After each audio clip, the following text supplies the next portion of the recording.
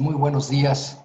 Bienvenidas y bienvenidos a esta audiencia número 9 del 177 periodo de sesiones virtual de la Comisión Interamericana de Derechos Humanos, que lleva por título Denuncias de desprotección de los colectivos de víctimas del conflicto armado en Colombia, comunidades indígenas, afrodescendientes campesinas y líderes sociales.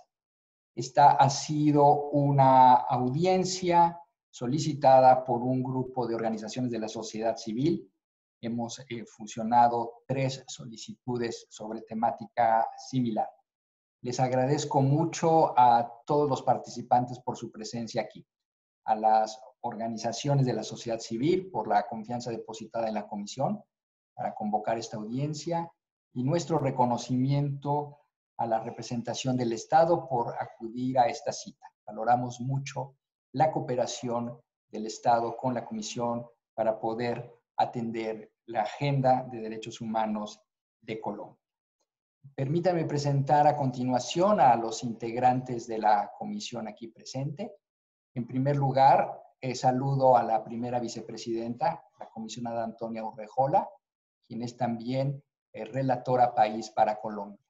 Saludo también a la comisionada Margaret May Macaulay, se encuentra aquí en su carácter de eh, relatora para eh, afrodescendientes y no discriminación.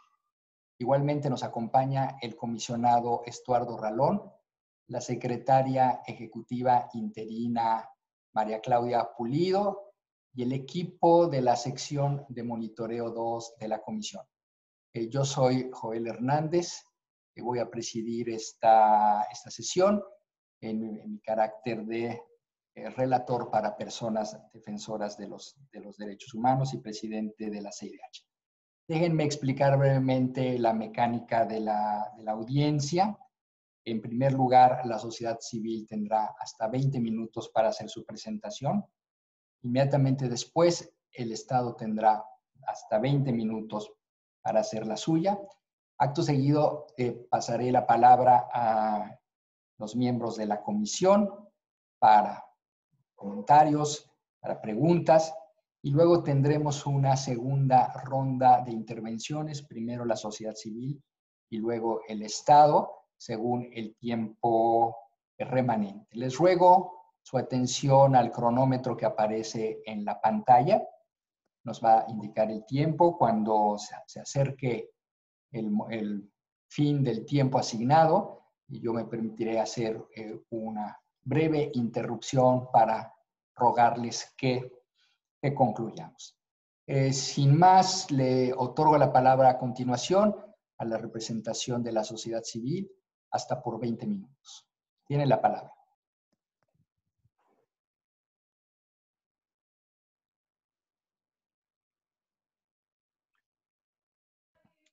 ¿Tengo la palabra? Ariel. Sí, ok. Eh, buenos días a todos y todas, comisionados, comisionadas y representantes del Estado de Colombia. Mi nombre es Ariel Rosebel Palacios Angulo, del Consejo Nacional de Paz Afrocolombiano, COMPA. En nombre de los peticionarios participantes de esta audiencia, agradecemos a la CIDH el otorgamiento de la misma Esperamos que la misma conduzca a que el gobierno de Colombia realice los ajustes necesarios para que los pueblos afrocolombianos e indígenas, los campesinos y líderes sociales de Colombia no sigan siendo víctimas de la violencia sistemática de derechos humanos que persiste en el país. Y que la paz. Micrófono, Ariel. Micrófono y que la paz con justicia social pueda ser una realidad en sus territorios, comunidades y organizaciones. Las tres solicitudes comparten análisis sobre la crítica situación de estas comunidades sobre las consecuencias de las fallas del gobierno de Colombia en la implementación de la paz, de otras leyes y políticas vigentes, de decisiones de la Corte Constitucional y de obligaciones internacionales. Los temas específicos de las intervenciones se centrarán en la implementación del acuerdo final de paz con enfoque étnico, la situación de derechos humanos de las comunidades del Chocó y los procesos de reparación colectiva en Colombia. A continuación, un peticionario de, cada una de las solicitudes hará sus intervenciones de seis minutos cada una, con sus análisis y recomendaciones respectivas. Le paso entonces así la palabra al compañero Pedro León Cortés. Gracias, Ariel. Mi nombre es Pedro Cortés del Instituto Internacional de Raza, Igualdad y Derechos Humanos. Comienzo entonces la intervención de la Comisión Étnica para la Paz y la Defensa de los Derechos Territoriales. Ofreceremos un análisis sobre el bajo estado de implementación del capítulo étnico del Acuerdo de Paz y las consecuencias de ella en términos de graves violaciones a los derechos humanos. Con base en este análisis presentaremos recomendaciones fundamentales para superar esta situación. La Comisión Étnica para la Paz y la Defensa de los Derechos Territoriales es la coalición de plataformas y organizaciones de los pueblos afrocolombianos e indígenas que lideró la formulación e inclusión del capítulo étnico en el Acuerdo de Paz. Desde que inició la implementación del mismo, la Comisión Étnica ha realizado seguimiento a la implementación del capítulo étnico y tiene representantes en el principal mecanismo de diálogo con el gobierno, la instancia especial del alto nivel con pueblos étnicos de AMPE. Los análisis y recomendaciones que hoy compartimos se basan en nuestro trabajo de acompañamiento a las comunidades étnicas en sus territorios y en los informes que hemos producido. La primera conclusión de nuestros análisis es contundente. El actual gobierno de Colombia ha estado saboteando la implementación del acuerdo de paz y con ello negando la consolidación de la paz territorial a la que tienen derecho los pueblos étnicos. Esta realidad se ve agravada con la implementación de otras políticas que han permitido la persistencia de la violencia sistemática en nuestros territorios. El resultado de esto, nuevos desplazamientos forzados, asesinatos de nuestros líderes y lideresas, profundización de la marginalidad y exclusión. La paz con legalidad que promociona el gobierno en realidad está generando condiciones para que persista la violación de los derechos humanos contra nuestros pueblos. La baja implementación del capítulo étnico 8% según último informe del Instituto Kroc, ha implicado que en la ejecución de las políticas de cada uno de los puntos del acuerdo no se estén ofreciendo las garantías para la protección de nuestros derechos y más bien se observe una regresividad. En cuanto a la reforma rural integral, no se han aplicado los mecanismos para la protección y seguridad de nuestros territorios ancestrales. Por ejemplo, la no creación de una subcuenta específica en el Fondo de Tierras para el Pueblo Afrocolombiano y la congelación de procesos de titulación colectiva, ampliación y saneamiento. En cuanto a la participación política, se sigue negando la creación de las circunscripciones de paz que garantizarían la participación significativa de nuestros territorios en los desarrollos legislativos. En materia de garantías de seguridad, el gobierno no ha ofrecido condiciones para detener la disputa del control territorial por parte de grupos armados ilegales y sus conexiones con la economía del narcotráfico. No existe voluntad para el desmantelamiento de grupos criminales y desmonte de las bandas paramilitares. Por ello, se registra el aumento de asesinatos contra líderes y miembros de nuestras comunidades, así como del desplazamiento forzado. 30.000 personas desplazadas forzadamente entre noviembre de 2019 y junio de 2020. Y resultan preocupantes los indicios de la persistencia de conexiones entre narcotráfico, militares y funcionarios públicos. En cuanto al Programa Nacional de Sustitución de Cultivos de Uso Ilícito, hay evidencia sobre una estrategia para detener la política de erradicación voluntaria y sustitución de cultivos ilícitos, para la cual no se ha formulado el decreto étnico reglamentario. Debe recordarse que cerca del, del 50% de los cultivos de uso ilícito se encuentran en territorios étnicos. Tampoco se avanza en el desminado humanitario, ni siquiera en las comunidades étnicas priorizadas. Sobre la adopción de enfoques diferenciales género-étnicos, no existe una valoración precisa, pero las mujeres afrocolombianas indígenas en los territorios han constatado una implementación inadecuada del mismo.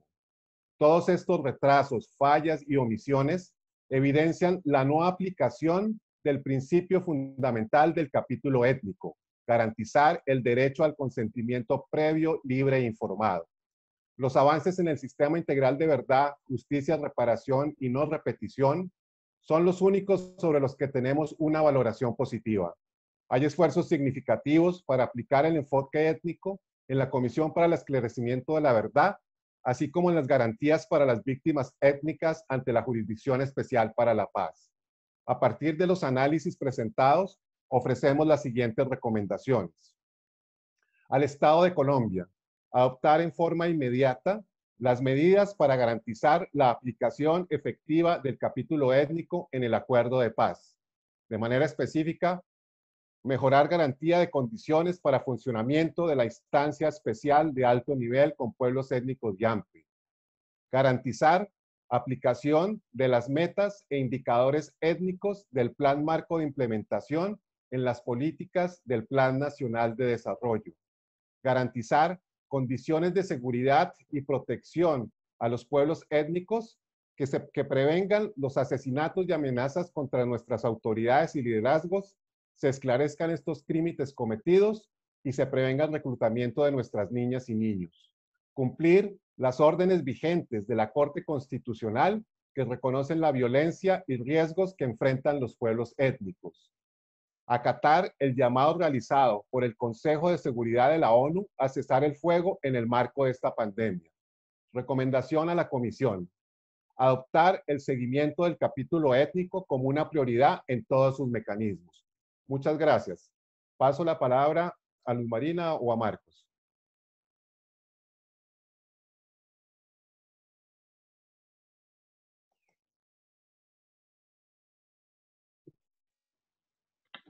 ¿Se mira bien ahí? Sí, Luzma, está bien. Dale. Buenos días, eh, señores comisionados y comisionadas. De acuerdo a los datos oficiales de la unidad de víctimas, a marzo del 2020, en el registro de víctimas están inscritos 755 sujetos de reparación colectiva, de los cuales 482 son pueblos étnicos y 273 son sujetos no étnicos. Tras nueve años de la implementación de la ley de víctimas, el 78% de los sujetos étnicos se encuentran en las etapas iniciales de la ruta de reparación colectiva y solo el 10% cuenta con un plan de reparación en proceso de implementación. A la fecha, ningún sujeto étnico ha finalizado la implementación de su plan de reparación colectiva. Asimismo, el 31% de los sujetos no étnicos se encuentran hasta ahora en las etapas iniciales de la ruta y si bien el 39% cuenta con un plan de reparación en proceso de implementación, solo el 6% ha finalizado dicha implementación. Dado lo anterior, consideramos la implementación del programa de reparación colectiva tras nueve años de la promulgación de la Ley 1448 del 2011 y los decretos ley étnicos del mismo año es grave y preocupante, y por tanto se encuentra comprometida la garantía y el goce efectivo de los derechos de las víctimas colectivas del conflicto armado. Dentro de las barreras institucionales del programa de reparación colectiva encontramos los siguientes. Debilidad en la articulación interinstitucional y la coordinación nación-territorio para la implementación de los planes integrales de reparación colectiva. Dificultades en la elaboración técnica de los planes de reparación colectivas, tiempos excesivos en la implementación de la ruta de reparación colectiva y ausencia de un enfoque transformador del programa, falta de presupuestos adecuados y suficientes para el programa de reparación colectiva. En cuanto a los sujetos étnicos, encontramos falta de adecuación institucional para incorporar el enfoque étnico dentro de la ruta de reparación colectiva. Presencia de estereotipos a la hora de abordar procesos de reparación eh, con sujetos étnicos. Ausencia de presupuestos adecuados para la implementación de los decretos ley étnicos. Falencia para incorporar la consulta previa dentro de la ruta étnica de reparación colectiva. Teniendo en cuenta estas enormes dificultades, y reconociendo la implementación de la política de reparación colectiva, que es un proceso, en el marco de un proceso de justicia transicional, El acuerdo final de paz puso especial énfasis en el fortalecimiento de las mismas. Sin embargo, esto ha sido ignorado de manera flagrante. No se han realizado acciones tendientes al fortalecimiento del programa. No se han construido criterios para articular el programa con los programas de desarrollo territorial o para garantizar el enfoque reparador en los planes de desarrollo con enfoque territorial. No se han articulado el programa de reparación con los mecanismos del sistema integral de verdad, justicia, reparación y garantías de no repetición. Adicionalmente, se ha recrudecido la crisis humanitaria, profundizando la situación de vulnerabilidad e impactando desproporcionado a los colectivos, poniendo en riesgo la restitución de derechos y la reparación integral. Algunos datos que evidencian estas situaciones son, durante el periodo de posacuerdo se identificaron 392 eventos de desplazamientos masivos múltiples que dejaron por lo menos 130.079 víctimas del total de las personas víctimas de desplazamientos identificadas en estos eventos el 47% pertenecen a comunidades étnicamente diferenciadas. Igualmente, se registraron 1.203 agresiones a líderes y lideresas en el ejercicio de su labor. Solo entre enero y septiembre del presente año se identificaron 54 masacres perpetradas en Colombia, dejando más de 200 víctimas. Finalmente, la crisis generada por la pandemia ha profundizado las desigualdades sociales, la situación de vulnerabilidad de las víctimas e impactado negativamente el desarrollo del programa de reparación colectiva, eh, dado que afecta la continuidad de las acciones territoriales. En vista de lo anterior, realizamos las siguientes solicitudes al Estado, desarrollar una estrategia integral de fortalecimiento del programa de reparación colectiva que permita ampliar su ámbito de aplicación, aumentar el ritmo de implementación y superar las barreras que afronta. Desarrollar mecanismos para la supervisión y cumplimiento del enfoque reparador de los planes de desarrollo con enfoque territorial y la inclusión de la reparación colectiva en los planes de desarrollo local desarrollar una estrategia especial de acompañamientos a los colectivos víctimas en el contexto de la reactivación económica posterior a la pandemia del COVID-19. A la Comisión Interamericana de Derechos Humanos, dentro del seguimiento a la situación de derechos humanos en el país, se incluya una estrategia para seguimiento al cumplimiento del derecho a la reparación de los colectivos víctimas en Colombia. Muchísimas gracias.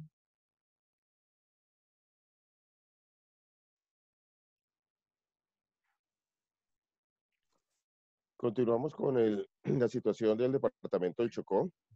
Eh, la reiterada decisión del gobierno colombiano. Cinco minutos, por favor.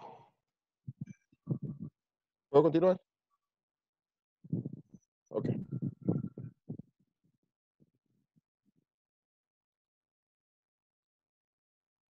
Micrófono, vicepresto.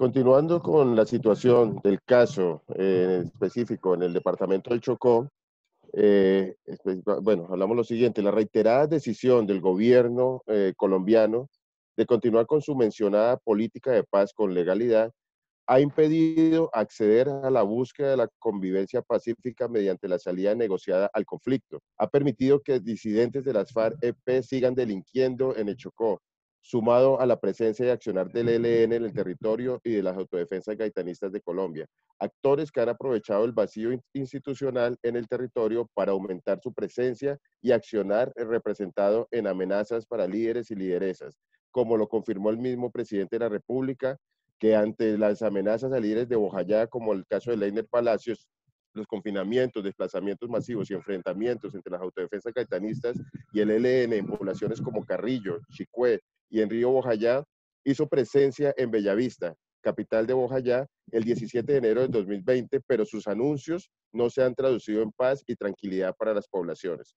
La CIDH expresó en la visita de trabajo a Colombia del 27 al 30 de noviembre de 2018 y también en el 172 periodo de sesiones en mayo de 2019, eh, que pudo conocer a través de sesiones de seguimiento a medidas cautelares la difícil situación humanitaria que se vive en el Bajo Atrato chocuano, puntualmente en las comunidades de Cacarica, Alto Guayabal, Curvarado y Guamiandó, donde se han evidenciado un aumento de las actividades paramilitares y la ineficacia de las fuerzas militares frente a su accionar.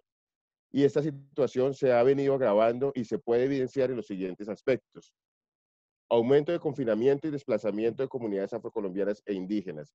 Tal es el caso de Bojayá, que según los cuatro informes del Comité de Justicia Transicional, llevado a cabo el año 2019, arroja un número de 9.694 personas en situación de confinamiento, y esa situación se agudiza actualmente según información de miembros de las comunidades que están sitiados por, la presencia de por lo menos 600 paramilitares que se disputan el control del territorio con el ELN.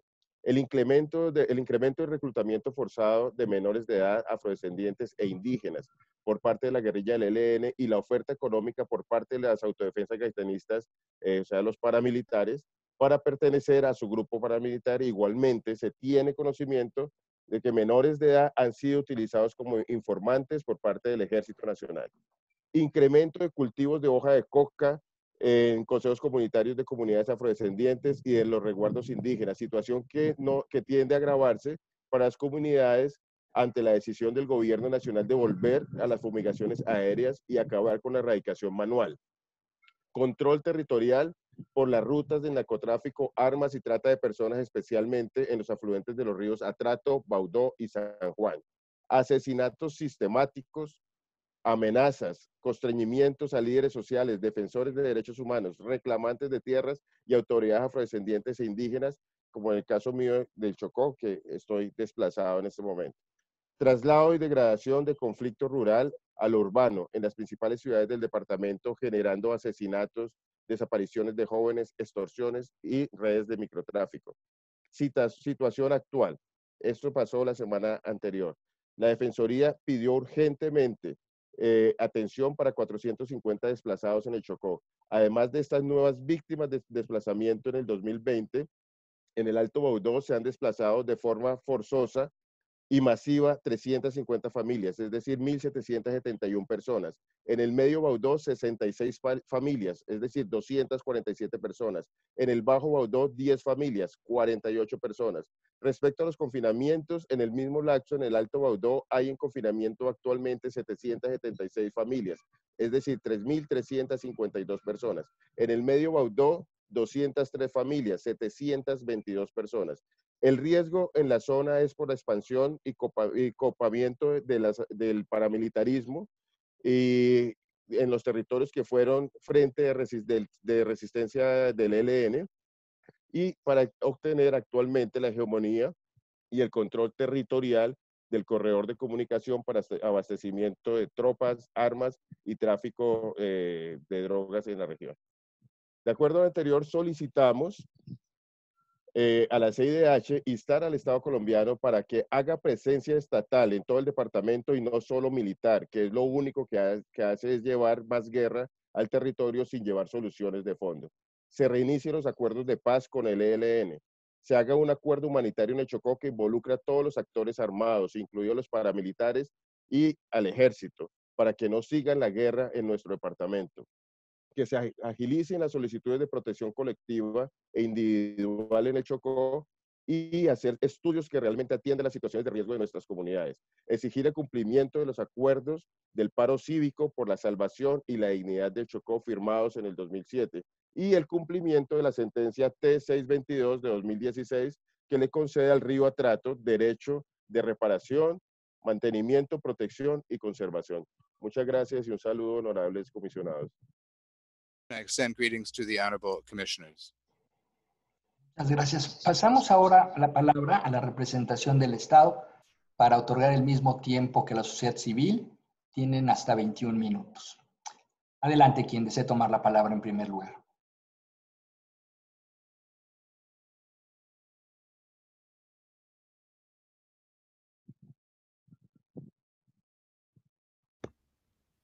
Hay un problema de audio. Micrófono, por favor, embajador.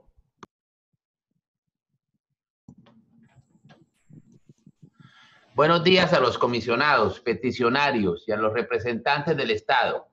Acudimos a la presente audiencia para hablar de la protección que brinda el Estado a los colectivos de víctimas en Colombia.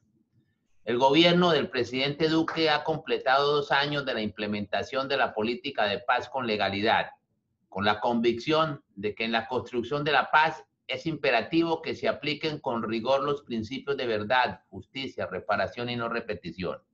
Esta política demuestra el compromiso del gobierno con las víctimas, con quienes han sido vulnerados por la violencia, la pobreza y la inequidad. En resumen, si se conoce la verdad y esta va acompañada de justicia, existe para las víctimas un horizonte de esperanza. Sin embargo, y a pesar de la generosidad del Estado y de la sociedad, Hemos visto en los últimos 50 años que muchos de los que han sido beneficiados con la posibilidad de reincorporarse a la vida civil terminan tentados por el regreso a la actividad criminal para tratar de imponer sus criterios con las armas. La política paz con legalidad pretende que nos podamos liberar de las causas y de las motivaciones de los exacerbadores de la violencia mediante una lucha frontal contra los grupos vinculados al narcotráfico y otras actividades criminales y mediante la inversión social, el desarrollo integral en su marco de seguridad y de justicia, especialmente los territorios con menor presencia del Estado. Se trata de llevar condiciones de desarrollo y bienestar a cada rincón del país con la convicción de que este esfuerzo se traduzca en la edificación de la equidad. En Colombia tiene lugar un proceso de transformación social, sin embargo es fundamental que se comprenda que son de largo aliento los planes y programas que implementa el gobierno para lograr la estabilización de los territorios y la reparación de las víctimas. El Estado no cejará en su empeño en la construcción de un país en paz y próspero para el beneficio de todos los ciudadanos.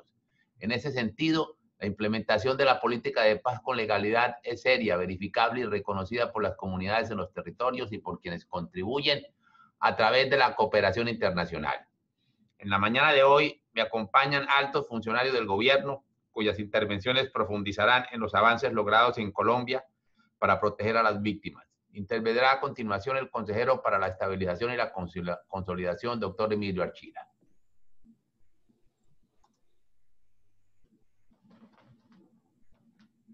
Muy buenos días, saludo a los comisionados y comisionadas, así como a las organizaciones intervinientes. El presidente Iván Duque expidió su política de paz con legalidad, en la cual se definieron las prioridades para estos primeros cuatro años de los 15 previstos para la implementación del acuerdo con las distintas FARC. En lo que corresponde al capítulo étnico, se definieron 97 indicadores en el documento COMPES 3932 de 2018. Hemos trabajado con las 22 entidades del gobierno que tienen responsabilidad en estos indicadores, logrando que 85 del total de 97 cuenten ya con niveles de avance medibles que el 54% tengan una ruta de trabajo que posibilita su cumplimiento dentro del periodo de gobierno actual y que nueve ya se hayan cumplido. Veamos algunas particularidades. Respecto de la instancia especial de alto nivel con los pueblos étnicos y AMPE, se puede resaltar, primero, la consecución de 490 mil dólares para el fortalecimiento técnico y financiación del plan de trabajo de la IAMPE hasta la vigencia del 2022. Dos, la realización permanente de espacios de diálogo intercultural técnico con todas las entidades del gobierno responsables de los 97 indicadores técnicos del Plan Marco de Implementación. De manera transparente, el Gobierno Nacional presentó a la IAMPE en julio del 2020 el primer informe de avances del capítulo ético PMI y en el marco de la se concertó con esa instancia una agenda de diálogo intercultural técnico que se llevará a cabo con las entidades implementadoras durante octubre y noviembre del 2020 en sesiones semanales continuas sobre el acceso a la propiedad colectiva avanzamos en la una propuesta de decreto de resguardos de origen colonial y republicano con el procedimiento de la calificación de estos títulos, lo que posibilitará la resolución de conflictos territoriales en la materia y también se está trabajando en un decreto en el cual se mejora el programa especial de dotación de tierras del pueblo ROM o gitano que actualmente está siendo consultado. Se han formalizado 29.500 hectáreas en la subcuenta para los pueblos étnicos en el Fondo de Tierras de Procesos de Constitución, ampliación de resguardos indígenas y titulación colectiva de consejos comunitarios. Esto es, el 83% de estas formalizaciones se han hecho durante este gobierno. Aprobamos un documento COMPES 3958 para posibilitar el catastro multipropósito. Durante el año en curso se han adelantado y actualizado eh, catastralmente Cumaribo Bichada, que tiene 30 resguardos indígenas y en 2021 se procederá con 41 municipios, entre ellos se encuentran aproximadamente 45 resguardos indígenas, 5 territorios, comunidades negras. Sobre los PEDET, los planes de desarrollo con enfoque territorial PEDET son un instrumento de planeación participativa para definir las visiones de proyectos prioritarios para las comunidades más afectadas por la violencia y la pobreza en 170 municipios del territorio nacional que representan la tercera parte de nuestro país. En el proceso de formulación de los PEDET se establecieron, diseñaron y acordaron con las autoridades étnicas y sus organizaciones 116 rutas de participación las cuales contaron con la intervención de 1.200 actores étnicos. De las 32.000 iniciativas de las comunidades, más de 8.000 son de las autoridades de puertos étnicos. Está previsto que todas las iniciativas se implementen en 15 años, pero 2.500 ya fueron incluidas en los planes de desarrollo municipales y departamentales y 2.165 han sido prioridades en las mesas de planeación que indican lo que se logrará a diciembre del 2021 por parte de la Agencia de Renovación del Territorio. En ejecución de las que conocemos como obras PEDET, ya 132 proyectos dirigidos a las comunidades étnicas han sido implementados, un número importante en el Chocó, logrando beneficiar a más de 30 mil familias con una inversión aproximada de 7 millones de dólares. Igualmente, se están estructurando 31 proyectos de reactivación económica, productiva y ambiental y 15 proyectos de infraestructura rural con enfoque étnico a través de los proyectos aprobados en el mecanismo de obras por impuestos y en el OCAT PAS existen 71 proyectos adicionales dentro de los cuales se identifican 52 iniciativas étnicas asociadas. La inversión aproximada de estos proyectos es de 178 millones de dólares. En los programas de sustitución voluntaria de cultivos, sobre la implementación del enfoque diferencial étnico del programa integral de sustitución de cultivos de uso ilícito, en la sentencia C-493 de 2017, la Corte Constitucional concluyó que, comillas, no había lugar a la realización de una consulta previa con las comunidades indígenas y afrodescendientes por no haber afectación directa de las mismas, cierro comillas. Pero yendo más allá, durante la consulta del Plan Nacional de Desarrollo de este gobierno se acordó la elaboración de un documento de lineamientos de la implementación de las modalidades de sustitución para armonizar el marco jurídico del PENIS con las necesidades de los pueblos y comunidades étnicas. Adicionalmente, es importante señalar que según los acuerdos individuales suscritos, un número de familias vinculadas al PENIS ascendió a poco más de 99 mil familias. Dentro de estas hay más de 13 mil familias étnicas. En el proceso de reincorporación, para la reincorporación social con enfoque, étnico se asignaron más de 463 mil dólares en el 2020, con los cuales se está formulando un componente indígena del programa y ya se ha avanzado en 11 actividades de sensibilización a través de jornadas comunitarias. Se han constituido 54 proyectos productivos de carácter colectivo aprobados que benefician a más de 580 personas de la población étnica y 1.977 excombatientes pertenecen, están afiliados a salud. Esto eh, em, estoy entregando el documento completo de esta intervención, lo mismo que el documento que le preparamos a la YAMPE. Y dicho sea de paso, las curules en este momento fueron aprobadas por el Congreso de la República y estamos pendientes que el Consejo de Estado decida al respecto. Doy paso a la subdirectora de la Unidad de Víctimas, doctora Lorena. Señores comisionados, agradezco el espacio para renovar el compromiso del Estado a través de la Unidad para las Víctimas con las comunidades indígenas, afrodescendientes y campesinas del país y a los líderes sociales, a los solicitantes y comunidades con quien venimos adelantando el proceso de reparación, un cordial saludo de igual forma. El Estado ha dispuesto a través del diseño e implementación de la Ley de Víctimas y Restitución de Tierras una política pública de atención, asistencia y reparación integrada a las víctimas robustas, que tiene como objetivo primordial garantizar de acuerdo con las particularidades de cada víctima el goce efectivo de sus derechos. Colombia adoptó un programa administrativo que contempló la dimensión individual y colectiva de la reparación, así como los otros asuntos de integralidad y cobertura que hacen de este programa un referente sin precedentes en el mundo en materia de reparación integral y justicia transicional. Quiero recordar que en virtud de las acciones de la sociedad civil y de los pueblos étnicos se expidió una normatividad específica y diferencial para los pueblos indígenas, afrodescendientes y rom. Este programa nos ha puesto un reto inmenso, ya que nuestro propósito no es solo reparar a más de 9 millones de personas, de manera indiferenciada, adecuada, oportuna, sino también contribuir a la reparación de los daños colectivos, al fortalecimiento de las capacidades políticas, ciudadanas y comunicativas de los sujetos de reparación.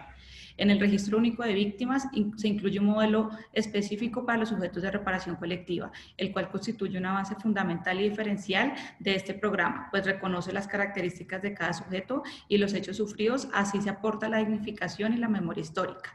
Para septiembre de este año se encuentran incluidos en el RUP 787 sujetos de reparación colectiva. De estos, 518 son sujetos étnicos y 269 no étnicos.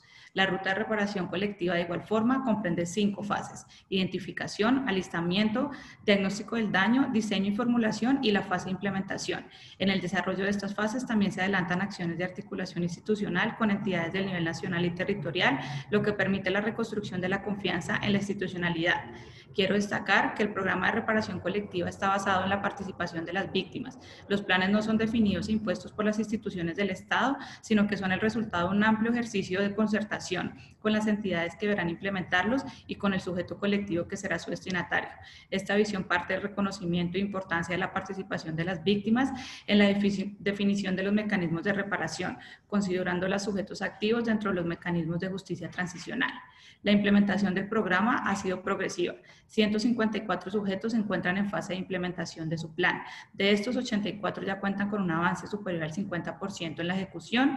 Además, hemos logrado cerrar 16 sujetos de reparación colectiva, 14 comunidades, una organización de mujeres y un grupo.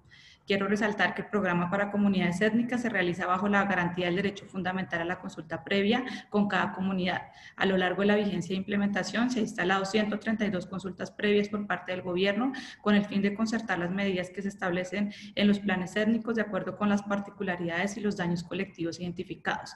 La primera medida de reparación para estos sujetos de la medida de indemnización colectiva, la cual ha sido entregada a 50 sujetos, brindando herramientas para que se lleven a cabo proyectos importantes en sus comunidades para ponerte presente otros avances, en el periodo compendido entre el 2013 y el 2020 se han concertado 4.147 acciones de los planes y se han implementado 1.628. El presupuesto asignado por la unidad para las víctimas ha sido superior a los 38 millones de dólares.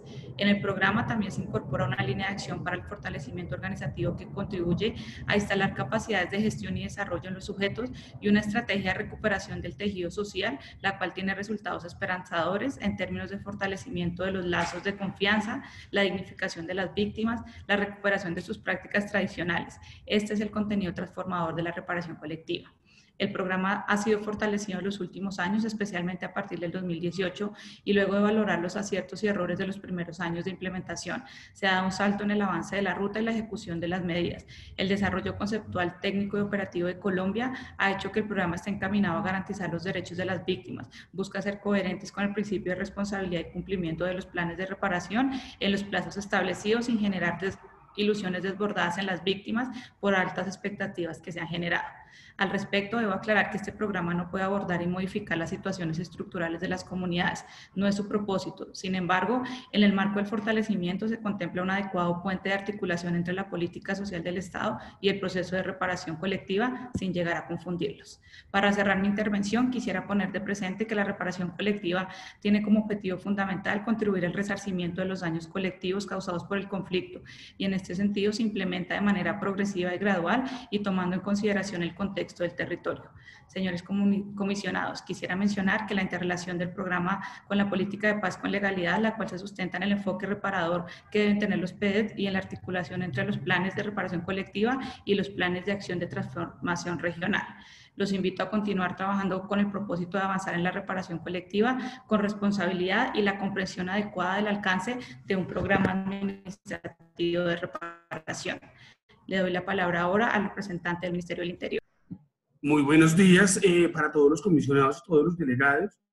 Eh, frente al tema de las acciones que se vienen desarrollando por el Ministerio del Interior, eh, pues informa de las, el, el programa Colombia está contigo, un millón de familias, eh, en el cual el Ministerio desarrolló una estrategia de atención humanitaria de emergencia dirigida a población vulnerable con el fin de brindar ayudas alimentarias a las familias eh, afectadas por la emergencia causada por el, eh, por el COVID. En este caso, el Ministerio del Interior entregó una, un total de 1.064 1.064.718 ayudas humanitarias, de las cuales 689.729 ayudas fueron destinadas a comunidades étnicas, es decir, que el 64% de las ayudas humanitarias beneficiaron a, a, personas de los pueblos indígenas, comunidades negras, afrodescendientes, raizales y palenqueras, y además entregó por parte del Ministerio del Interior la ayuda de 48.058 kits de bioseguridad para dirigidos a la Guardia Indígena. Por otra parte, eh, se expidieron eh, conjuntamente con el Ministerio de Salud eh, las recomendaciones para la prevención del contagio del COVID a través de la circular externa 015 del 2020 para realizar las primeras recomendaciones para la prevención de, y contención y mitigación del virus en grupos étnicos. Se realizó la traducción de recomendaciones en lenguas nativas en articulación con la Dirección de Poblaciones del Ministerio de Cultura y con el Comando de Acción Integrada del Ejército Colombiano. En este contexto se tradujeron a 10 lenguas nativas estas recomendaciones para los casos Mitoto, Ubico, Arhuaca, Sicuani, Nayasawe, Ticuna, Inga, Iku, Guayunay, y Ibora. Eh, aparte de esto, pues se viene realizando un ejercicio permanente de monitoreo de la situación de los pueblos indígenas por COVID eh, en articulación con el Instituto Nacional de Salud eh, y se realiza el seguimiento de las condiciones de salud de las comunidades, de las comunidades indígenas. En el marco de un ejercicio conjunto y, y permanente de diálogo con las comunidades indígenas, se vienen fortaleciendo unos planes de atención eh, para la mitigación del COVID, con una, con una eh, atención de aproximadamente 520 mil millones de dólares eh, dirigidos a el fortalecimiento de procesos organizativos para el Consejo Regional Indígena del Cauca, el Consejo Regional Indígena del Huila, el Consejo Regional Indígena de Caldas, AICO por la Pachamama, AISO, la población Guayú, la zona alta, media y baja de la Guajira, y más de 10 organizaciones de la, de la Amazonía colombiana. Frente al tema de las acciones para la implementación del capítulo étnico, eh, pues se resalta que el Ministerio del Interior, en conjunto con la Unidad Nacional de Protección, tiene a cargo la implementación de las medidas y mecanismos de seguridad y protección reforzada individual y colectivamente para el fortalecimiento de los sistemas de seguridad eh, propia de los pueblos indígenas. En este contexto, en el, el 10 de septiembre se llevó a cabo la primera sesión de la Comisión de Derechos Humanos de los Pueblos Indígenas en cuyo marco los comisionados indígenas hicieron entrega del documento borrador del decreto de las medidas de protección individual y colectiva para los pueblos indígenas y se definió avanzar en un proceso para la recolección de insumos para el capítulo étnico de la política pública. Eh, se tiene una intervención para este año de aproximadamente 362 mil eh, dólares dirigidos a cinco convenios con las cinco organizaciones de la Mesa Permanente de Concertación y un convenio para todo el tema de fortalecimiento relacionada con derechos humanos. Entre los meses de octubre y noviembre del 2019 se realizaron reuniones interinstitucionales de revisión del decreto borrador con la Unidad Nacional de Protección eh, y el Ministerio de Defensa, la Consejería Presidencial de Derechos Humanos, la Unidad de Atención y Reparación Integral para las Víctimas, eh, la Unidad de Restitución de Tierras, el Ministerio de Cultura, la Fiscalía General de la Nación, con el propósito de realizar todas las observaciones pertinentes para este tema. Eh, frente a todo el tema relacionado con la protección de los líderes y lideresas de comunidades indígenas, pues se resalta eh, la campaña de reconocimiento a la labor de los líderes y lideresas eh, sociales en defensa de los derechos humanos a través de la estrategia numeral Líderes es Contigo, lanzada el 25 de agosto de 2020, y el tema relacionado con el Banco de Siembra, en el cual es una iniciativa por medio del cual se financian proyectos para la mitigación del riesgo que afecta a los liderazgos sociales en las comunidades étnicas. En este contexto se tienen 15, eh, 15 proyectos en el departamento del Chocó eh, que van a atender aproximadamente 2.240 personas con una intervención de aproximadamente 340 mil dólares. Eh, frente al tema de buenas prácticas, se resalta que el Ministerio del Interior, conforme a los acuerdos suscritos en el marco de la sesión conjunta de la Comisión de Derechos Humanos de los Pueblos Indígenas y la Mesa Permanente de Concertación creó un chat de emergencia en donde participan entidades del orden nacional y cinco organizaciones indígenas nacionales, a saber, Organización Nacional Indígena de Colombia, eh, Organización de los Pueblos Indígenas de la Amazonía, Autoridades Indígenas de AICO por la Pachamama, Confederación Indígena Tairona y autoridades tradicionales de Colombia y Gobierno Mayor, y el propósito del chat es servir como un mecanismo de interlocución para coordinar y promover acciones de prevención urgente y reacción inmediata ante situaciones de riesgo que afectan los derechos de la vida, la integridad, la libertad y la seguridad de los pueblos indígenas. Eh, doy paso al delegado de la Unidad Nacional de Protección. Muchas gracias. Muchísimas gracias. Eh, extiendo un cordial saludo a todos y a todas por parte del señor director de la Unidad Nacional de Protección, Alfonso Campo Martínez, a esta importante mesa de trabajo. Inicialmente es preciso indicar que la Unidad Nacional de Protección, en el marco del Programa de Prevención y Protección de los Derechos a la Vida, la Libertad, la Integridad y la Seguridad de Personas, grupos y comunidades, continúa implementando diversas estrategias que permiten realizar de manera asertiva la atención a líderes sociales y defensores de derechos humanos que se encuentren frente a un riesgo extremo o extraordinario por cuenta de las actividades o funciones que adelanta a la luz de su rol, ello según lo expresa el decreto 1066 del 2015. Bajo esta línea, esta unidad administrativa adelanta acciones de defensa de los derechos civiles y políticos, ya que el programa funciona bajo una concepción amplia del significado de la actividad de defensor de derechos humanos, enfocado desde una, una óptica incluyente y pluralista que brinda medidas de protección a dirigentes, activistas o representantes de organizaciones de índole social, política, cívica, a líderes y activistas de organizaciones de mujeres, indígenas, afrocolombianas, raizales, palenqueras, LGTBI, periodistas y comunicadores sociales, a víctimas del conflicto armado, incluyendo reclamantes de tierra y a líderes ambientalistas, entre otros. Así las cosas, tenemos que actualmente la Unidad Nacional de Protección ha implementado medidas de protección aproximadamente a 888 personas pertenecientes a la población indígena en todo el territorio nacional, entre los cuales tenemos 1.144 medios de comunicación, 765 chalecos blindados, 73 botones de apoyo, 732 hombres de protección, 211 vehículos convencionales y 92 vehículos blindados. Ah, ahora, por otro lado, y de conformidad con la estrategia para el desarrollo y la implementación del enfoque diferencial étnico, oferta pública que es dirigida a comunidades indígenas, comunidades negras, afrodescendientes, raizales, palenqueras y comunidades ROM, se debe tener en cuenta las acciones adelantadas por la Unidad Nacional de Protección que garantizan el derecho a la vida, integridad, libertad y seguridad de las poblaciones objeto de prevención y protección desde la ruta de protección colectiva. Desde esta ir concluyendo, estamos ya sobre el tiempo. Sí, señor. Se ha desarrollado acciones afirmativas que evidencian la materialización del enfoque diferencial territorial, étnico y de género a través de la adecuación de metodologías participativas comunitarias aplicadas a los talleres de evaluación de riesgo que se han desarrollado con las diferentes colectividades en las cuales se cuenta con la participación de los miembros de los colectivos en el desarrollo de todo el proceso de la ruta de protección colectiva, como es el caso de los talleres realizados, por ejemplo, el 26 y 27 de diciembre de 2019, que a las fechas se encuentra en concertación de medidas con el Consejo Comunitario de la Cuenca del Río Cacarica. Es importante resaltar que las medidas de protección colectivas tienen como pilar fundamental el principio de participación con las comunidades, lo cual permite que todas las medidas que han sido diseñadas para mitigar los distintos escenarios de riesgo son propuestas y validadas por la comunidad.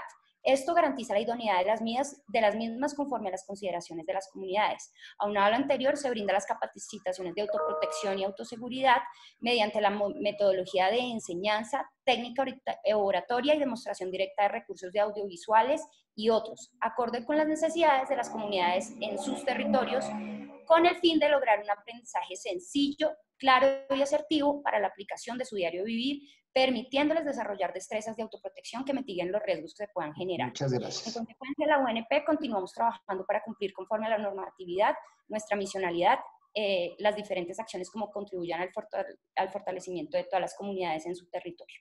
Gracias, muy amable.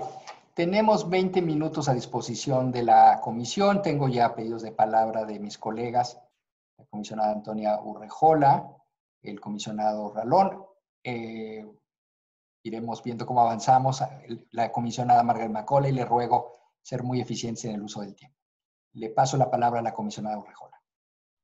Eh, muchas gracias, presidente. En, en, primer lugar, un saludo a todas y todos los presentes, a los representantes de las organizaciones de la sociedad civil, como también a la representación del Estado. Muchas gracias a todas y todos por estar en esta audiencia en el día de hoy. También saludo a mis colegas. Em, a ver, en, relación con la implementación del acuerdo de paz, la Comisión hizo un comunicado el 31 de julio pasado donde hacemos un llamado a Colombia para redoblar sus esfuerzos en la implementación integral del acuerdo. Eh, nos parece cierto que la implementación del acuerdo es fundamental precisamente para la paz y para evitar la, violencia y los hechos que hemos visto en el último tiempo, efectivamente, de por lo menos de un aumento de, de asesinatos a líderes sociales que nos preocupa mucho. En relación con el capítulo étnico, efectivamente, de acuerdo a los informes que la propia Comisión ha revisado del Consejo Nacional de Paz Afrocolombiana y la Comisión Étnica, más la propia información que nos han ido entregando distintas organizaciones de la sociedad civil, nos parece cierto que, el capítulo étnico es el componente del acuerdo que tiene mayores retrasos y nos preocupa mayormente y por eso nos alegramos de esta, de esta audiencia. En el comunicado sobre la, implementación del acuerdo de paz de la Comisión Interamericana, como otros comunicados que hemos sacado eh, durante estos últimos meses, hemos manifestado nuestra preocupación sobre diversos temas que han sido tratados en esta reunión, como por ejemplo el cumplimiento de las garantías de la consulta previa, libre e informada, la afectación de los pueblos afrocolombianos e indígenas por el recrudecimiento de la violencia en sus territorios, específicamente nuestra preocupación por los asesinatos contra los defensores de derechos humanos y líderes indígenas. Eh, y sociales. En este sentido, nos parece fundamental poder continuar con los esfuerzos desplegados para la implementación de la reforma rural integral, garantizando sobre todo el acceso y la consolidación de la propiedad colectiva sobre los territorios ancestrales. Nos parece también fundamental las reparaciones colectivas garantizadas por la ley 1448, eh, la ley de víctimas, que muchos de ustedes han hecho referencia. Son preocupantes las cifras que hemos escuchado en esta reunión sobre el cumplimiento de esta, de esta ley. Y nos preocupa también la, debilidad que permanentemente las distintas organizaciones nos, nos indican en diversas reuniones y en esta audiencia sobre la articulación institucional y la coordinación a nivel nacional con los territorios. En ese sentido, yo tengo varias preguntas. La primera es que las organizaciones sociales en esta reunión nos han indicado que el 53% de los sujetos de reparación colectiva se encuentran en etapa de identificación, lo que significa que están incluidos dentro del registro, pero la institucionalidad no ha realizado ninguna acción para avanzar en el desarrollo de la ruta de reparación colectiva. El Estado dice, ¿cierto?, que son cinco las fases que están en este proceso y la etapa de identificación es la primera. Quisiera preguntarle tanto a los representantes de la organización civil como al Estado, ¿cuáles son los desafíos para poder avanzar en el proceso de reparación colectiva tras los nueve años de implementación de la ley de víctimas? Los desafíos son presupuestarios, los desafíos son problemas de coordinación a nivel nacional con el nivel territorial, la ausencia de institucionalidad en los territorios más alejados, o es un problema de concertación entre las organizaciones y el Estado. Quisiera entender cuáles son los desafíos que después de nueve años la mayoría sigue todavía en la primera fase. Esa es mi primera pregunta. La segunda es, quisiera saber cuáles son los impactos socioeconómicos observados en los territorios tanto respecto a los programas de desarrollo con enfoque territorial, como también con el Plan Nacional Integral de Sustitución. ¿Se han visto impactos socioeconómicos ya respecto a estos programas y planes o no? Y por otra parte, quisiera saber cuáles son las estrategias, porque en, lo que hay un acuerdo, cierto, es que hoy día, sobre todo más en la pandemia, em, es la afectación de la violencia respecto a los líderes y lideresas dentro, dentro del capítulo étnico. Y quisiera saber cuáles son las estrategias de seguridad diseñadas para garantizar la seguridad de los participantes, tanto en el programa de desarrollo con enfoque territorial como en el Plan Nacional Integral de Sustitución. Entiendo que son preguntas bastante grandes y por lo tanto obviamente no es necesario que las respondan em, en, esta, en esta audiencia, pero sí sería importante poder conocer la opinión y sobre todo quisiera entender cuáles son los obstáculos concretos en la implementación de la ley de víctimas, porque si, si la mayoría de acuerdo a la información de las organizaciones de la sociedad civil, la 53% de las organizaciones todavía están en la fase 1, es importante poder ver cuáles son los obstáculos. Y finalmente, simplemente quiero señalar, em, eh, ya que lo, plantearon las organizaciones de la sociedad civil, que la Comisión Interamericana está haciendo un monitoreo permanente, no solo de Colombia, sino de la implementación del acuerdo de paz, y hemos hecho un especial enfoque también respecto del capítulo étnico, Em, tenemos un acuerdo de asistencia técnica con el Estado colombiano en esta materia para capacitaciones y reiterar el compromiso de la Comisión y el mío particular, yo soy relatora de Colombia, pero además soy relatora de pueblos indígenas y de memoria, verdad y justicia, por lo tanto los temas que hoy día estamos viendo están todos bastante relacionados y, está todo el equipo de la Secretaría Ejecutiva de estas, distintas, de, estas distintas relatorías también presente y por lo tanto simplemente reiterar nuestro compromiso de monitoreo como también de colaboración y capacitación tanto al Estado como a las organizaciones de la sociedad civil. Muchas gracias, presidente. Gracias. Paso la palabra al comisionado Ranón.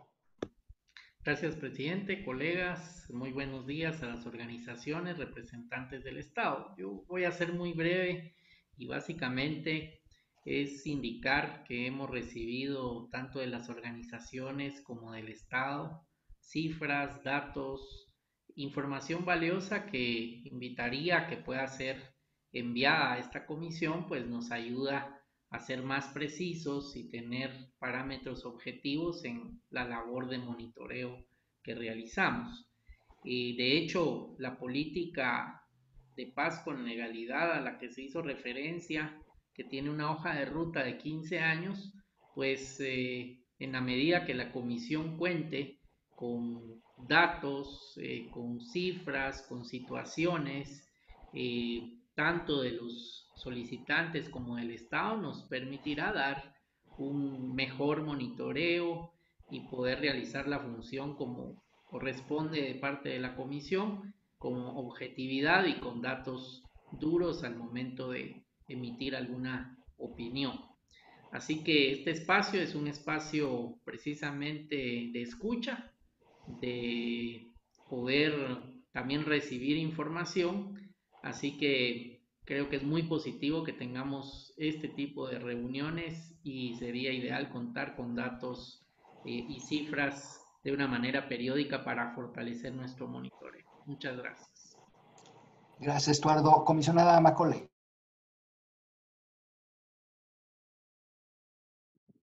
Um, Thank you, Mr. President. Uh, may I say a, a, very good morning to este, everyone, eh, state representatives sí. and to lots of my friends on civil society. Um, I have to say that in particular, although I have to refer to them as friends because we have been working on this uh, uh, issue and the lack of movement uh, in implementation uh, for the Afro-descendant communities for years. Uh, and uh, um, I certainly have gotten much older in working with, with um, these representatives of civil society um, on this matter. And I just, I'm not going to, I thank um, uh, First Vice President Antonia for the uh, comments she made and the questions she put. I am not going to repeat those, but I do want to emphasize the fact that 50, 3% um, um, are still in phase one under the and, uh, of the implementation of the victims law. And so we need, and I, I, I do apologize in some instance there was overriding of the speaker in the translation, but I do not think I heard any specific information or facts about the delay in moving from this phase one uh, uh, um, and, and uh, for so long. And, and I think the commi- as the commission and the rapporteurship on Afro descendants' rights, we do need more specific and real specific facts from the state of why this uh, is, is taking so long. We also need more specific information about the current increase in violence and the fact that that doesn't seem to decrease either. And the number of killings, uh, um, forceful and recruitment of young boys and girls uh, um, by new armed groups. There does not seem to be any uh, um, success in the army the military, which are supposed to be there trying to keep the, the community safe, um, um, succeeding in, in putting down these armed forces and criminal and criminal gangs um, who, who harass the, the peaceful um, existence of these communities. And um, we also are particularly concerned because throughout the years I've been rapporteur and working on this matter, the state has always said and agreed that the Afro-descendant community has suffered the most during the armed conflict and continues to suffer even after because new armed conflicts are arising in their communities which don't seem to be uh, um, being dealt with in, in, in, in a, an, an effective manner. And the loss of life and suffering of these people just continues all the time. Um, I, I listened to, um, I think it was um, Mr. Um, Senor Alfonso Martinez, um, and you spoke a lot about what has been done, and I heard a lot of what has been done for the indigenous communities and in relation to the indigenous communities. But I didn't hear half as much as in relation to the Afro-descendant communities. And this is a problem we've always had over the years. So please, um, I do uh, enjoin the state to kindly send to the commission specific information relating to the Afro-descendant communities.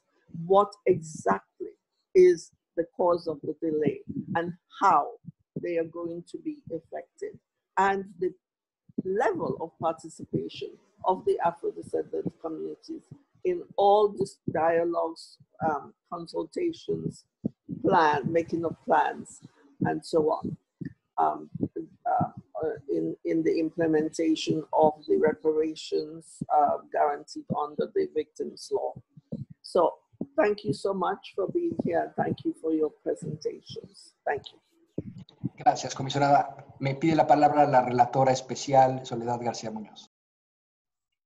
Muchas gracias, presidente. Buenos días a todos, a todas. Un saludo cordial y especial a las representantes de, de los peticionarios como, como al honorable Estado de, Colombia y a, su delegación, primero tomando nota de toda la información recibida, los efectos de mi mandato y muy especialmente de los esfuerzos que está haciendo el, el Estado colombiano en, en estas materias tan, tan complicadas, también tan complejas a lo largo del tiempo. Yo quisiera escuchar, si es posible, durante esta audiencia, eh, una ampliación en materia de cuáles son los desafíos concretos que se, que se enfrentan en esta situación en torno a la pandemia, en torno a, a lo que la Comisión a través de sus resoluciones 1 y 4 barra 2020 ha establecido en derechos tales como el agua, la salud, la alimentación, porque entiendo que a la complejidad de los asuntos que estamos tratando en esta audiencia y como bien señalaba la relatora de país, hay unos impactos socioeconómicos y también unos impactos en términos de la crisis sanitaria, como también económica, social y ambiental, que, que esta crisis supone, imagino que eso, algunas manifestaciones ya del Estado así lo han, lo han, lo han expresado, supone desafíos eh, adicionales, también ponernos a disposición del Estado, de la sociedad civil, en lo que podamos ser de, de, de alguna ayuda desde, desde nuestro mandato y eh, preguntar específicamente,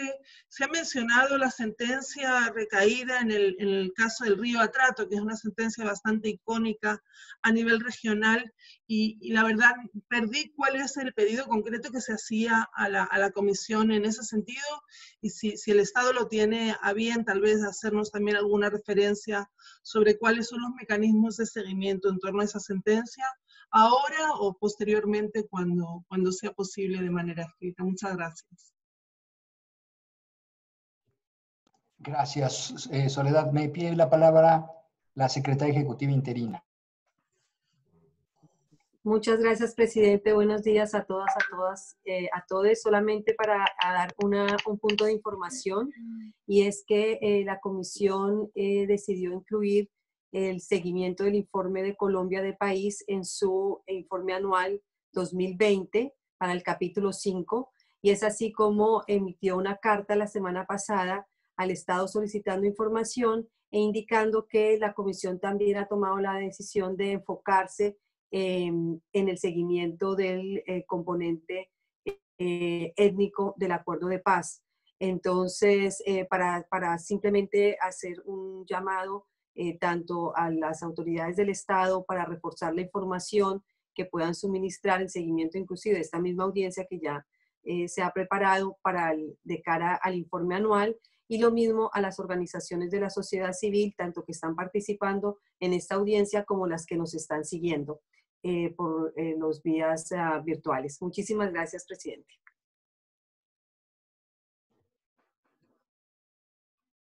Bien, muchas gracias. Yo quiero agradecer a las organizaciones solicitantes por haber pedido esta audiencia, han proporcionado información muy, muy valiosa.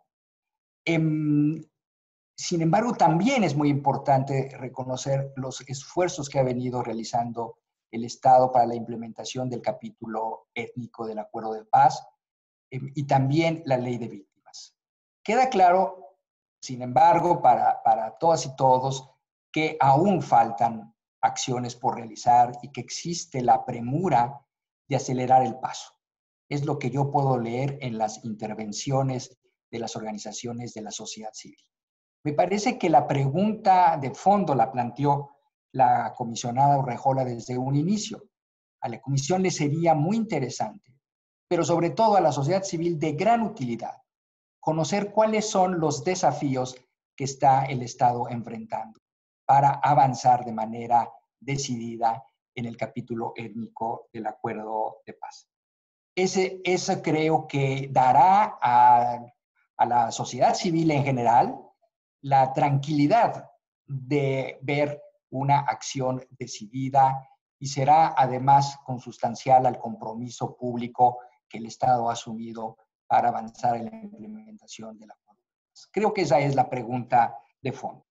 Dejo un último tema eh, para, para, eh, para las respuestas tanto de la sociedad civil como del Estado, que tiene que ver con el tema de reclutamiento de menores.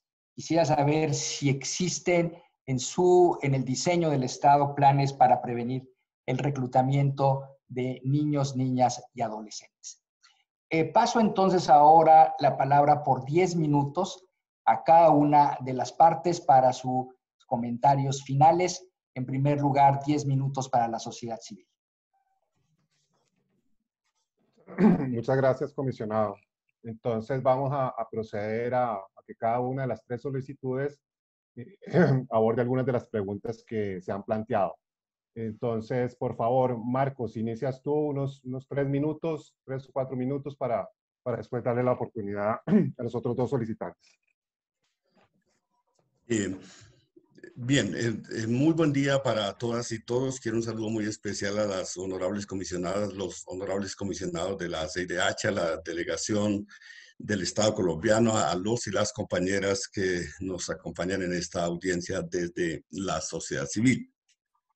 Quisiera en primer lugar destacar el hecho de que hablar de reparación colectiva es reconocer que el país ha sufrido, además de daños individuales, daños muy profundos que han roto el tejido social y territorial eh, en, el, en el contexto del conflicto armado que hemos vivido eh, piensen que tenemos 787 sujetos de reparación colectiva inscritos. Esto además habla de que la, la, sociedad tiene voluntad de avanzar en reparación y ese no es uno de los obstáculos, porque las comunidades, los pueblos, las organizaciones han acudido. En segundo lugar, muestra el impacto desproporcionado sobre los pueblos étnicos, pero también muestra que hay más de 250 sujetos de reparación colectiva no étnica, como los sindicatos, organizaciones sociales, partidos políticos, etc. Y hay que ir a los datos fuertes. Los datos fuertes son que de estos 787 procesos de reparación colectiva o de, de sujetos de reparación colectiva, solo se han completado medidas en 16 casos y se han hecho indemnizaciones económicas a 50. Esto realmente es una cifra, digámoslo, vergonzosa para el Estado colombiano en relación con las metas, porque eh, pensemos que recientemente estuvimos discutiendo la prórroga de la ley de víctimas. La ley de víctimas ya pasó 10 años y este programa surgió con la ley de víctimas de 2000 2011. Entonces tenemos un atraso estructural. Muchas veces esto tiene que ver con falta de voluntad institucional, eh, política, con falta de disposición de recursos eh, suficientes para avanzar, eh, con falta de concertación en muchos casos con las comunidades. Pero además esto se encadena a otras cosas. En 2009 la Corte votado el auto 4 y 5, donde ordenó planes de zaparda y planes eh, de protección para pueblos indígenas y afrodescendientes. Y recientemente en el auto 266 de 2017, el auto 286 de 2019, la Corte Constitucional ha dicho que hay un incumplimiento bastante grande en esta materia. Es decir, que no estamos cumpliendo medidas de hace casi 20 años y, y tampoco avanzamos en las medidas que se votan a través de la ley eh, 1448 de 2011. Adicionalmente, la delegación del gobierno no nos habló para nada de, temas muy importantes que trae el acuerdo de paz.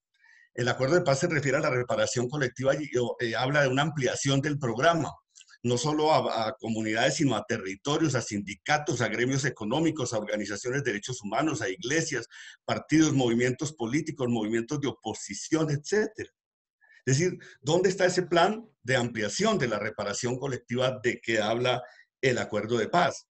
Entonces no vemos allí un, minuto, Un, enfoque en esa dirección y quiero cerrar diciendo que recientemente la Corte también ha votado el auto 149 de 2020, donde prácticamente plantea que todas las medidas que el Estado destine frente a la pandemia deben eh, proteger a todas las víctimas y lo que hemos visto es que la mayoría de las víctimas están desprotegidas porque no se ha cumplido con la sentencia 25 y tampoco se ha cumplido eh, con la ley 1448 y por esa razón los pueblos étnicos son los más afectados desproporcionadamente también en el contexto de la pandemia. Entonces pensamos que hay que buscar medidas de protección, fortalecer medidas de protección colectiva, buscar fórmulas de cese del fuego, como dice el Consejo de Seguridad de las Naciones Unidas en territorios de alta violencia y avanzar decididamente. Saludamos que haya un programa de reparación, pero con estas metas nos vamos a demorar más de 50 años en cumplir los propósitos de ese mm. programa, señores comisionados, señoras comisionadas. Muchas gracias. Gracias, Marco. A continuación, Padre Sterling, ¿podrías abordar algunas de las preguntas relacionadas con Chocó y situación humanitaria? Tres minutos. Muy, muy buenos días para aquí la entidad de gobierno y para la Comisión Interamericana. Eh, varios desafíos en cuanto... Un, un, principal desafío tiene que ver con lo de la violencia generalizada en el departamento de Chocó, como lo plantea la Corte, la Corte Constitucional en el auto 504 y se aborda este desafío desde la política pública con planes para garantizar eh, que, se deje sin razón de ser tanto el confinamiento como el desplazamiento forzado que se sufre en las comunidades de Río Atrato en todas las regiones, en todas las regiones del departamento del Chocó. Un gran desafío, la protección colectiva de líderes de organizaciones étnico-territoriales, de líderes campesinos, se aborda desde los planes de reparación, los planes de protección colectiva, pero no así como se abordan, lo está abordando la unidad de víctimas, sino con planes que realmente obedezcan a situaciones eh, complejas del mismo conflicto que se sufre en los territorios, pero desde las propuestas que se han construido con las comunidades y organizaciones. El capítulo étnico del acuerdo final presenta unas medidas muy específicas que no se han tenido en cuenta en cuanto a fortalecer la Guardia Indígena, la Guardia Cimarrona y otros procesos de eh, protección colectiva.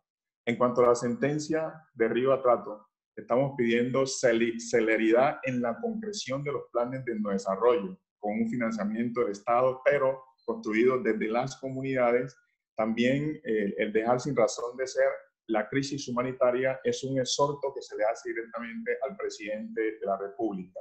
Y en cuanto a lo que tiene que ver con, con, las, con las comunidades, estamos hablando de que Quito, que es la capital, este año lleva más de 100 personas asesinadas y la situación en las comunidades es muy compleja por presencia de actores armados. Y en cuanto a, lo del COVID, le recomendamos al Ministerio del Interior que, pase, que, que presente un informe sobre cómo ha abordado eh, esta, esta contingencia del COVID, pero con mecanismos étnicos diferenciados. Eso hace falta al plan que concertó la ministra del Interior directamente con los, congres, con, con los congresistas que representan a la población afro. Falta el enfoque étnico que reconozca y que fortalezca Por ejemplo, los los, la gente que trabaja en salud en las comunidades, esos promotores que han sido capacitados y que en las medidas, tanto en la, en la, en la, la implementación como en, el monitoreo, participen activamente las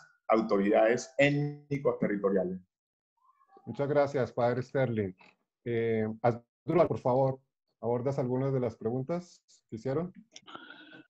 Eh, buenos días, señores comisionados, señores de gobierno, compañeros de pueblos étnicos. Sí, muy, muy, muy brevemente quiero decir que eh, eh, la implementación del capítulo étnico realmente es muy escasa. según los cálculos que tenemos en la alta instancia étnica de paz, no, no pasa del 7.6%. Eh, que es una gran diferencia frente a lo que el gobierno plantea eh, como, como, avances. Empiezo por decir que eh, el capítulo étnico consagra unas salvaguardas sustanciales y esas salvaguardas sustanciales realmente no, no tienen una, un desarrollo pertinente. Por ejemplo, una de las salvaguardas es la objeción cultural. No se ha avanzado nada realmente en, en, el desarrollo de esa salvaguarda. Otra salvaguarda es la, del la de consulta y consentimiento libre, previo e informado. Pues hay varios temas que están planteados directamente como temas de consulta previa y tampoco han sido desarrollados suficientemente. Eh, también tenemos, por ejemplo, en las salvaguardas el enfoque eh, étnico de familia y generaciones no se ve un registro realmente de cómo sería el enfoque de familias de carácter étnico, ni el enfoque étnico de, mm, las generaciones. Esto pues eh, eh, como, como, parte principal de estas, eh, de estas salvaguardas, pero también hay un asunto que habíamos iniciado también desde la IAMPE y con la Consejería de Derechos Humanos, habíamos avanzado en tratar de construir el capítulo étnico de paz, de derechos humanos, perdón. Y eso también se, se ha quedado en veremos, ha sido realmente quieto pese a que nosotros presentamos una propuesta. Eh, gracias. Bueno, en los últimos segundos aprovecho para unirme a, a la observación que hacen algunos de los comisionados en términos a solicitud al Estado de solicitar información de resultados de todas estas actividades y programas que han anunciado nos parece fundamental que además de, de todos estos elementos de gestión, de anuncios, de lo que se está haciendo, de la cantidad de actividades, realmente haya información sobre resultados, que finalmente es lo que nosotros como pueblos étnicos estamos viendo que no está funcionando y siguen habiendo los asesinatos y la violación sistemática. Muchas gracias, comisionados. Muchas gracias a ustedes por su participación, por el impecable manejo del tiempo. Tiene ahora 10 minutos la representación del Estado. Les paso la palabra. Buenas tardes, señor, señores comisionados, señor presidente. El Estado procederá a hacer las eh, respectivas consideraciones en torno a las preocupaciones que ustedes aquí han manifestado. Solamente debo expresar inicialmente que mm, alguno de los comisionados preguntó por el tema del reclutamiento. Eh, ese aspecto eh, no es parte, no es objeto de esta convocatoria, por tanto, eh, no podemos mm, hacer referencia alguna. en su momento lo expresaremos, ya sea en otra audiencia, cuando sea materia de la audiencia, o si no, eh, igualmente podremos hacer llegar eh, la información por escrito con posterioridad a la audiencia. Inmediatamente tendrá el uso de la palabra el doctor Archila. Muchas gracias, eh, comisionados, y también a, a, las, a las organizaciones sobre si eh, los eh, planes de desarrollo con enfoque territorial y el programa de sustitución ha tenido impacto socioeconómico, la respuesta es definitivamente sí. En estos 24 meses, eh, nosotros recibimos dos de esos planes hechos, terminamos los, los 16, los 170 municipios han adoptado el PEDET como su política de largo plazo Como lo mencioné, eh, tanto en los planes de desarrollo de los municipios como en los de los departamentos se incluyeron las, eh, las iniciativas como una de sus, eh, de sus prioridades. Tenemos más de 50 entidades del orden nacional trabajando con todos los municipios, todos los departamentos, todas las secretarías, inclusive el sector privado y la cooperación internacional se han alineado con esta forma de hacer la planeación.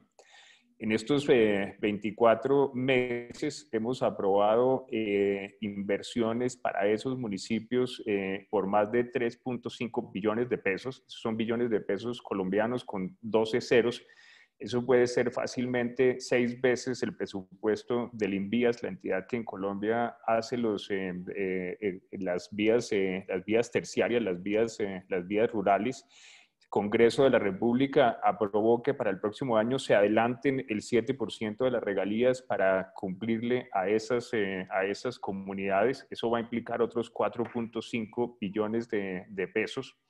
En el plan de sustitución voluntaria de cultivos tenemos 100.000 familias. Esos son 400.000 colombianos que abandonaron el, de el cultivo de la coca gracias al apoyo del eh, del gobierno colombiano se han mantenido dentro de ese, dentro de ese programa. Es un programa absolutamente eh, exitoso. Más de 66 mil de esas familias ya tienen asistencias técnicas y mencioné temprano cuál era el número de personas que pertenecen a las, eh, a las etnias. Eh, en, el enfoque que le hemos dado, hay dos temas que quisiera resaltar. Uno, la gigantesca coincidencia con la implementación de los PD, de los planes de desarrollo con enfoque territorial y las reparaciones colectivas. Como lo mencionaba la subdirectora eh, Lorena, hay un pilar completo eh, de los ocho capítulos, hay uno completo que es de, de reconciliación teniendo en cuenta que en estas eh, regiones, en estos 170 municipios, está más o menos la tercera parte de las, eh, de las víctimas, trabajamos no solamente con el énfasis de los recursos eh, nacionales, sino también con varios de los fondos que nos cooperan. El Fondo Multidonante está aportando 4 millones de dólares para esos sitios en donde hay coincidencia entre las reparaciones colectivas y el plan de desarrollo. Finalmente, eh, em, nosotros producimos con absoluta transparencia un reporte una vez al, mes sobre los adelantos que se, van, eh, que se van teniendo. Ahí están las cifras puras y duras de lo que hemos logrado en estos 24 meses y si no lo hemos estado haciendo, me voy a encargar de que les llegue periódicamente a todos los comisionados. Bueno, frente eh, a, la pregunta de cómo, cuáles son los desafíos que tenemos eh, tras ocho o nueve años de la implementación del programa de reparación colectiva, eh, quisiera iniciar precisando que, como lo dije en mi intervención, esto es un programa único en el mundo, la primera vez que se implementa y en sus inicios pues tuvo muchas dificultades en la articulación operativa, técnica y por supuesto presupuestal. Sin embargo, hemos visto cómo desde el 2018, durante estos 24 meses, hemos fortalecido este programa de reparación colectiva. Ahora tenemos unos techos, un programa aterrizado que responde a las comunidades de acuerdo a los daños que se han causado y por eso es que durante estos 24 meses hemos logrado tener los mayores avances en materia de reparación colectiva, lo que da cuenta que desde el 2018, cuando escuchamos a las comunidades decir qué debemos fortalecer y mejorar del programa, sacamos un modelo donde ahora tenemos grandes avances. Hemos logrado cerrar 13 eh, planes de reparación colectiva durante estos 24 eh, meses, históricamente habíamos cerrado tres, pero de igual manera también estamos eh, teniendo el mayor número de implementación en las medidas de reparación colectiva. Más del 50% de las medidas de reparación colectiva se han implementado en estos 24 meses. Como lo mencionaba anteriormente, son más de 700 sujetos en todo el territorio nacional y lo que buscamos es avanzar con cada uno, tanto en ruta con implementación, con un enfoque pues, reparador y que atienda a las eh, características propias de cada sujeto.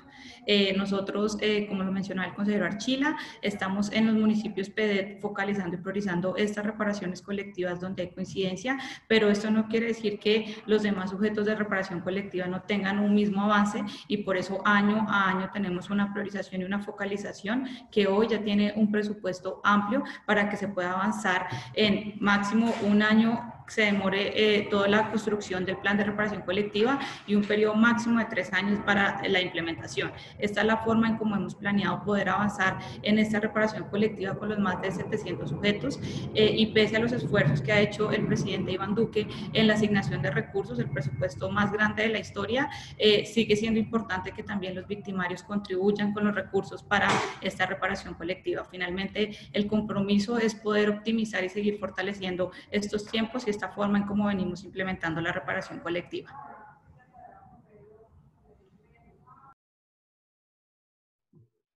Eh, bueno, eh, muchas gracias. Frente al tema, yo quiero reiterar, eh, como lo dije en mi intervención, que frente al tema de las acciones que se realizaron para el COVID y la emergencia por COVID, pues está el programa de Colombia se contigo un millón de familias en el cual el 64% de las ayudas humanitarias representadas en alimentación fueron dirigidas a población de grupos étnicos, población indígena, afro-negra, racial y palenquera, eh, pues todo el tema de las medidas que se, que se expidieron con las circulares conjuntas con el Ministerio de Salud para todo el tema de atención en materia con enfoque diferencial y todo el proceso de diálogo permanente que se ha venido desarrollando con las comunidades étnicas frente al tema de COVID y la atención que se viene desarrollando por parte del gobierno.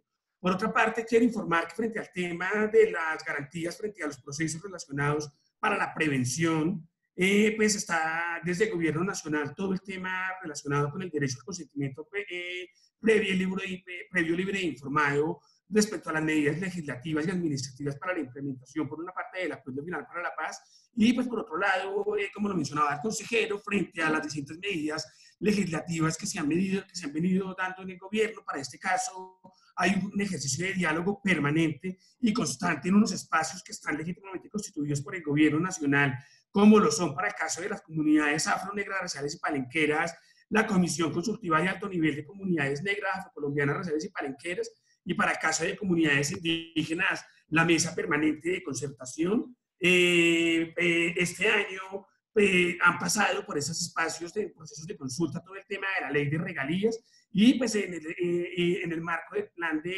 desarrollo, pues fue también consultado el Plan Nacional de Desarrollo y estamos en procesos de concertación de todo el tema de asignación presupuestaria que se viene haciendo eh, anualmente. Por otro lado, el Ministerio, es importante mencionar que la Escuela de Líderes, yo, eh, el Ministerio del Interior lanzó la Escuela de Líderes Sociales este año, lo cual es una iniciativa que busca fortalecer las capacidades de incidencia, gestión y participación de la sociedad civil mediante el desarrollo de procesos de formación en educación continua. Este proyecto cuenta con una inversión cercana a los, a los 2 millones de dólares y busca certificar a eh, diversas temáticas a más de 24 mil ciudadanos, incluyendo los miembros de las comunidades étnicas de todo el país. Y frente al banco de proyectos que yo mencioné que teníamos unas iniciativas para el departamento del Chocó, es importante tener presente que este banco de siembra pues tiene una, eh, una inversión para 79 proyectos con más de 17, de 1.7 millones de dólares en los 19, en, todo el país. Adicionalmente, se lanzó también eh, hace dos semanas por parte de la señora ministra el Banco de Proyectos para Comunidades Afro, Negras, Raciales y Palenqueras con una inversión aproximada de 550 mil dólares, eh, beneficiando aproximadamente 50 consejos comunitarios y 60 organizaciones de comunidades afro, negras, raciales y palenqueras.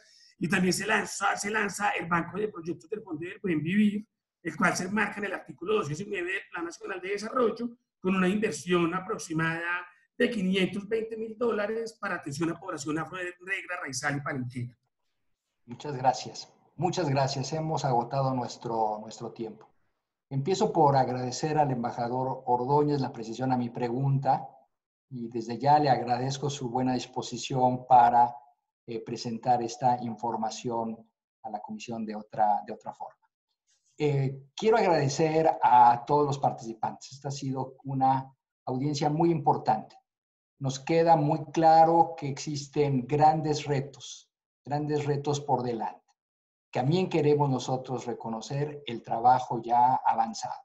Pero ciertamente hay todavía desafíos, los cuales han quedado de manifiesto en esta audiencia y tomamos eh, el compromiso del Estado de seguir avanzando en esta, en esta dirección. Por lo pronto, esta ha sido una excelente oportunidad para entablar un diálogo entre la sociedad civil aquí representada y el Estado y hacemos votos porque continúe en esa dirección. Damos por concluida esta audiencia, la número 9. Muchas gracias y que tengan muy buen día. Gracias a todas y todos. Chao, chao, gracias. Que estén muy bien. Gracias. Gracias. Muchas gracias. Muchas gracias. Muchas gracias. Muchas gracias. Muchas gracias. Muchas gracias. Hasta luego.